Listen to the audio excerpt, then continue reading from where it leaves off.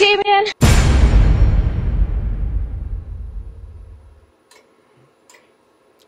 only got one question. Why? Why? What was the point of that?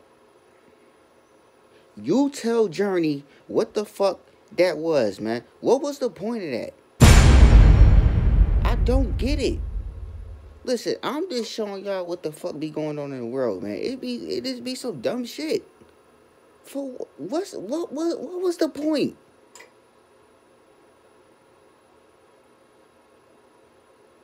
Let me know in the comments. Let me know what y'all think. I'm I'm at a loss for words. I don't know what to say because the, the shit's so stupid, man.